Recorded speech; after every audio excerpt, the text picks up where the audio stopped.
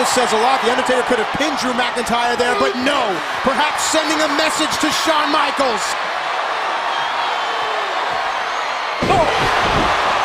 Ladies and gentlemen,